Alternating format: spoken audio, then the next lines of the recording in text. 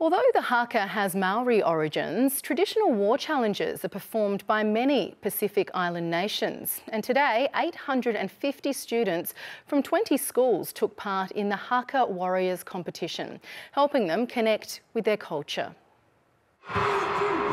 Slapping, stamping, swaying. All led by loud chants actions of the haka, a New Zealand war dance dating back hundreds of years, and today showcased by students in Sydney, coming together for the Haka Warriors competition. We work hard, we never give up.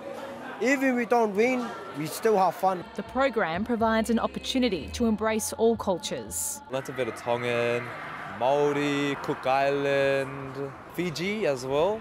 I'm not only just doing this for myself, I'm doing this for my family and my families before and onwards. You have, we have to be graceful for some cultures, then like fully energized for others, and it's like something good to learn because you like know that not all are the same. You're all different in your own way. Starting in 2019, Haka Warriors was developed by the Community Youth Club in Bankstown in partnership with police.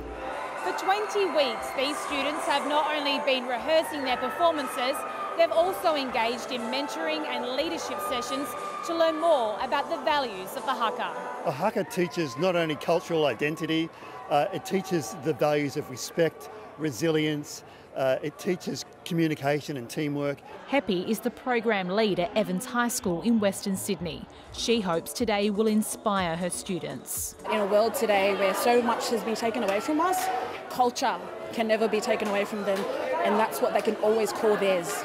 And it's had positive outcomes in the classroom too. It's influenced their attendance at school, it's influenced their positive attitudes towards schooling, um, towards teachers and each other. And I think what it's really done for our kids, it's allowed them to, to find their inner voice. And they certainly have. Francesca Denuccio, SBS World News.